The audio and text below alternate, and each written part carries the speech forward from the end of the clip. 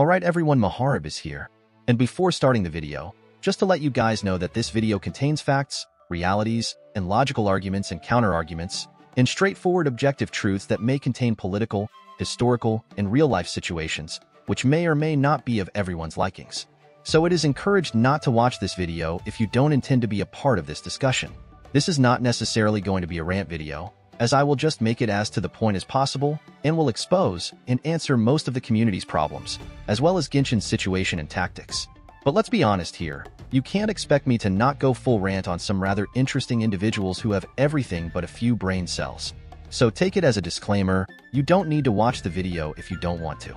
My next video will be a little lighthearted to brighten everyone's mood. You can watch that instead. But I believe it's important to end this discussion once and for all, and to show you what my stance is in all of what is happening in this community. And with all that said, let's start the video with the list of characters that are whitewashed by Genshin Impact. From Sumeru, we have Ibn al-Haytham, Kaveh the Blacksmith, Faruzan, Layla, Kusanali, and Rukkhadevata, Nilüfer, Dori Sangemah Bay, and Muhammad al-Tighnari. From Natlan, we have Kinich, Citlali, Chaska, Ororon, and Mavuika. I can create a whole video on detailed reasoning as to how they all are whitewashed and poorly represented. And I am not answering to any comment trying their best to justify these characters as good presentation. You'll need to shut up. I'll be creating this like a question-answer video, so you can actually understand the full picture and don't have any misunderstandings at the end of the video. But first let me tell you who am I to talk in this matter, and why do I care so much? I am a South Asian who has close ties even with Arabs and Middle East from my ancestry and origins. I share Indian Muslim culture, and I am very well versed in the values of culture for their people. And as someone who looks like Cyno or Sethos, and born and live in Sumeru Forest, you cannot expect me to not talk about this topic. It just doesn't feel right for me to see all Sumeru Forest characters as white as I have never seen anywhere in my life when it should be representing me and my people. As for Natlan, African and Latin Americans look a lot like my own brothers and sisters. Just by looking at those people, I feel a type of connection from them with myself. We are not as different as anyone might think, so it's just right for me to talk on their behalf as well. Who knows if I really share some of my blood with them? Or is it the similarity I see in them that makes me kind of fond of these people? They just feel like my own people, or distant relatives. Anyways, I just wanted to make this video because it just feels right to me. My origins are diverse, and I take my culture and religion very seriously. Something very few people can understand from my audience, and maybe only those people are watching my video after the disclaimer. But I know what diversity actually means, and it keeps me connected to the people of different cultures just by pure gut feeling. Who the hell knows if I do my DNA test, it turns out that I am 35% Arab, 40% Indian, 10% African, and 10% Latin. And then I ask what about the other 5%, and they reply stop eating rice, you become 5% Chinese. Huh? Come on guys, it's not rice, it's biryani. But, but, biryani is rice too. I call it the biryani factor. Anyways, let's start with question number one. Why is cultural representation that big of a deal in Genshin Impact? This is one of the most commonly asked question, but has the most straightforward answer. Genshin Impact has always been open for their representation based on different people and cultures from real life. It is not just limited to the characters, but also from music, to the landscape, to the way their NPCs and enemies are designed, etc., and Genshin has always been very strict for what they have been doing. This is evident by the fact how Gaming is purely designed to keep the concept of Wushou dancing, which holds significance in their culture, or the fact that they hired professional opera singer to sing for Yunjin. They even decided to add that exact singing for the global release as well, or the fact that Zhongli was directly buffed because he represents a certain group of people, Chinese to be precise. Not only that, but they have very accurate representations from a lot of characters other than just China. For example, Fontaine characters. Each and every character from Fontaine actually looks like the theme they were going for from the start. No one complained for the characters being white in Fontaine, because it represents France and Europe, and they are not colored. But to see that an Atlanian is no different than a Fontainian just doesn't seem right. Think about it. If Sethos was released as an Inazuma character, or a little brother of Ayato, or something along those lines, wouldn't that feel wrong?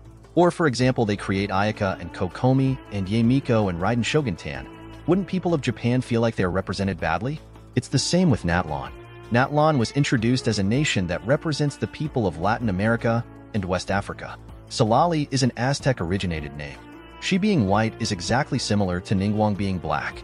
If these were the nations Hoyo creates by themselves, like you can see in almost every isekai anime etc., where the world building is entirely different from real life, and those characters don't represent any ethnicity or group of people from real life, then no one would complain about skin color or designs etc. But Genshin is not like that. They have been pretty consistent with what they go for. So if they can commit themselves fully on characters that represent certain parts of the world, and then whitewash the characters that were supposed to represent other parts of the world, this is a big deal. But then another question arises. What is the limit that should not be crossed when it comes to depiction of certain regions, or characters, or eras? When it comes to fantasy worlds, we all can understand that not everything can be fully depicted from real life, even if it represents different people. For example, hair color. We know anime has this unspoken rule for hair to be of a variety of different colors, and it's normal. Same with the restrictions posed by the game itself. Like all of their characters must share these five standard models. No one ever complained about these kinds of things because it is fiction after all. Have you even seen anyone complaining about why Tighnari has fox ears and tail? I mean, I don't remember Muhammad al-Tighnari to have a fox-like appearance, but we understand that it's not real world, and in this fictional world, it is normal. Or we can call it, within the limitations of creative freedom set by the world of Teyvat itself. But you can still know from where this character is from, just by looking at the elements used in this character's design. Place Charlotte and Amber side by side, and you instantly know they both give you different vibes of different people. Just like these elements are essential to make these characters distinct from each other, skin color is also one of those important, or I can say, most important and essential element that must be used to identify and represent different people. If you place Clorinde and Chaska side by side, you can't even see the difference. This is outside of those rules and limitations set by the world of Teyvat. We can agree that a world of fiction is a world of fiction with creative freedom, but it has its own limitations that need not be exceeded. Otherwise, characters won't feel like they belong to that region, or the world itself. And with that, we can have another question. Why when other games do that, it's fine, and no one talks about it. But when Genshin does that, everyone starts talking. You know what? It's a fair question, but the answer is even easier to give. First of all, just because no one else talks bad about some other game having the same problem, doesn't mean you should also keep quiet. But there is another reason to that as well. As I said earlier, Genshin has always been mimicking real life, and has always been pretty consistent and serious about it. Other games don't necessarily do that. For example, in God of War, there are a lot of mystical creatures taken from different mythologies, but they don't represent different group of people. Or I can explain it like this. Take the world of Konosuba. Now, if a character in this world is created by taking a little bit of inspiration from West Africa, but that character is made white, not everyone will care. That character is not representing anybody, it just has some elements in it that are inspired from Africa. That doesn't make him African, or make him a representation of all African people. But in Natlan or Sumeru, these characters are the direct target of presentation. You can't just take a little bit of elements from that region and make that character white. It doesn't work here. That's the difference between an entirely fictional world created from scratch by your own imagination and the world of Teyvat that is a clear depiction of real-life places and people and culture something that a lot of dumb brains cannot seem to understand. Now don't get me wrong, I don't care if a character is taken from some mythology or is a bad representation of some so-called deity. Any depiction of so-called God that can be drawn into a picture by a person's imaginations is nothing more than a fictional character to me. It holds absolutely zero significance in my eyes. My only concern is the presentation of people. It doesn't matter to me if this character looks like this character or not, but it does matter to me that this character is a poor representation of these human beings. And by culture, I don't mean the mystical beasts or whatever. I just mean how those people dress and how those people look and act, etc. Now let's talk about a question I wanted to answer as a designer myself. Does black characters not look good? I know this should not even be a question, but they indeed have all the tools to make black characters beautiful. We have seen this already in the form of Candace and Dehya, etc. Though I know a lot of people don't like the design of Xinyan, or Dehya by extension, and are just afraid because if they will say it out loud, others will call them racist. Trust me, it doesn't work like that. If you don't like a character's design, you can share your opinion if you want, there is nothing wrong with that.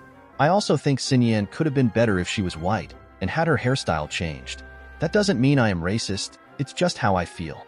And at the same time, I still remember how many people pulled for Cyno just because of his design. He is an amazing example of cultural representation. And out of all male characters in the entire game, the best design for me personally is the design of Sethos. A fine example of if you create a culturally accurate design for a character, it does not look bad at all.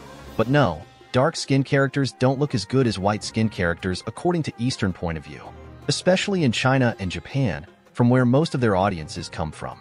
I am sorry, but that's just the reality. They are racially biased.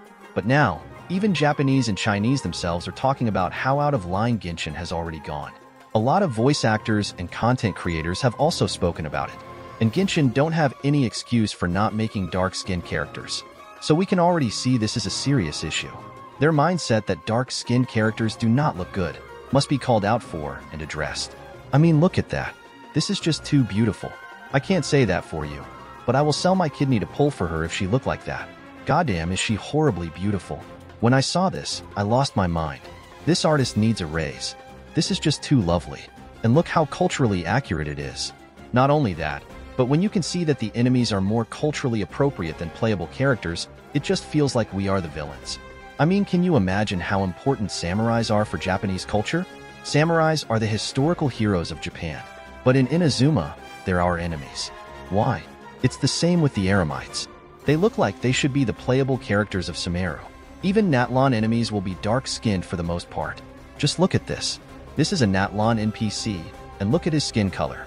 This is a slap on the face of everyone who always says Genshin is fiction and don't take elements from different cultures and people.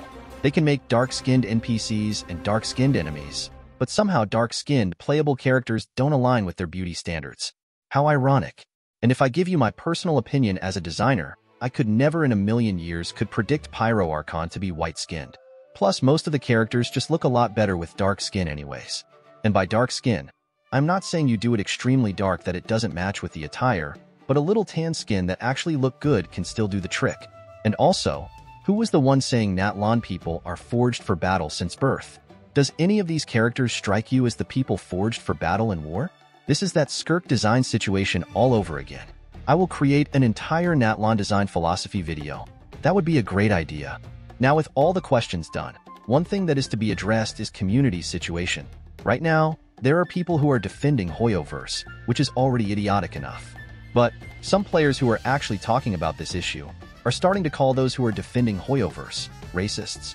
Look, there can be different idiotic reasons for defending Hoyoverse, like characters are not real, or Genshin is not obligated to make their own original characters tan or black, and things like that. But that doesn't necessarily mean that they're racist, they're just dumb.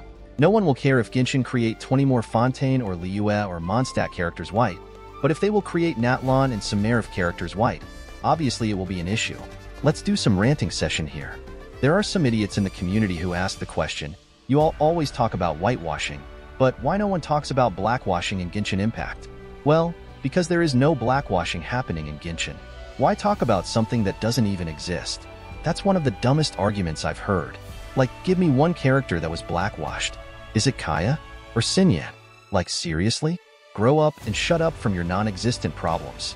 We will talk about blackwashing when Genshin will create 90% of Liyue cast black, just like they did with Sumeru Forest.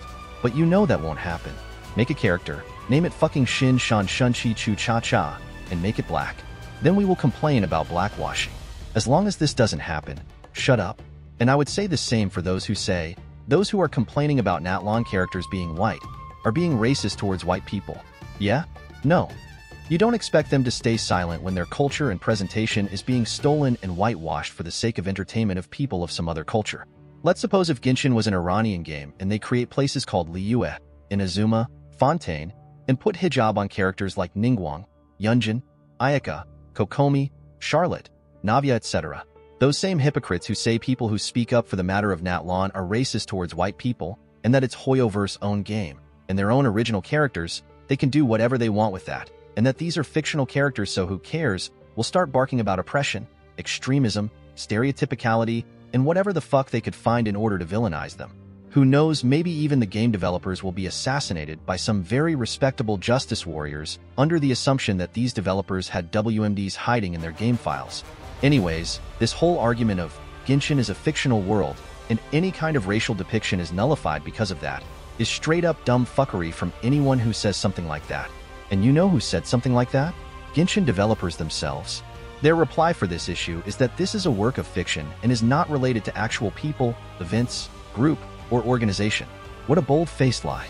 It was not a work of fiction when Zhongli was buffed, It was not fiction when Yunjin was introduced.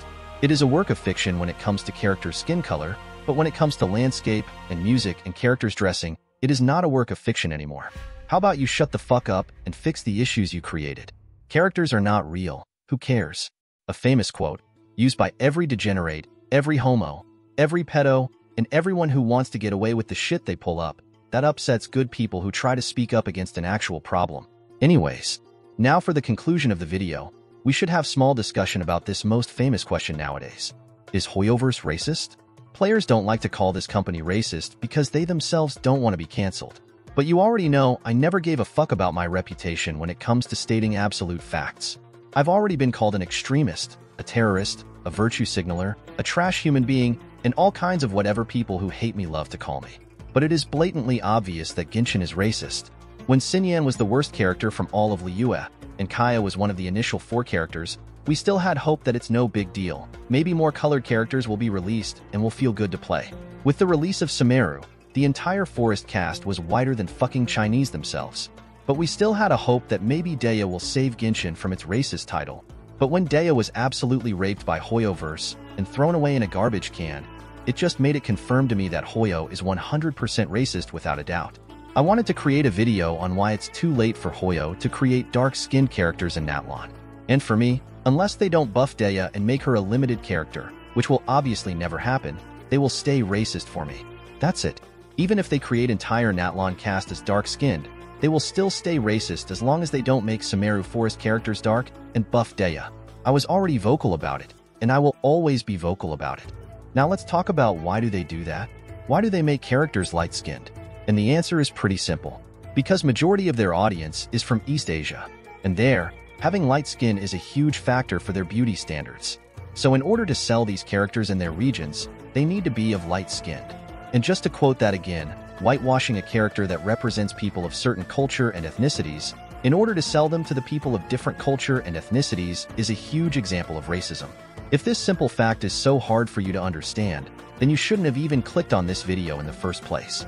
But if you have already reached to this point, I am amazed. But if their product is released globally, they need to start giving a shit about other people as well. And the last question to end this video, does racism actually matters? The answer is no.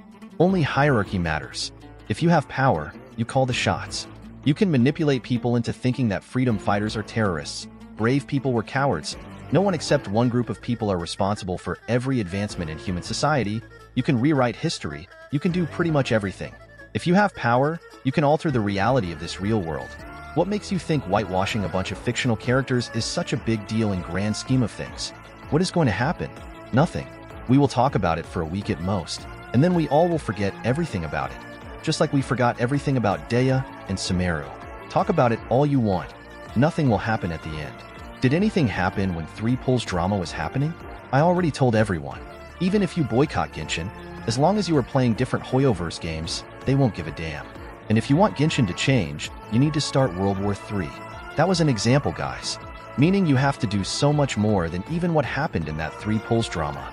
You need at least millions of players boycotting all the games of Hoyoverse. You have to make the entire company bankrupt, and you know that won't happen. So there is actually no point in dwelling about it. But let me tell you, just because you know nothing will happen at the end, doesn't mean you should not speak about it. Boycott Genshin if you want, it won't do shit.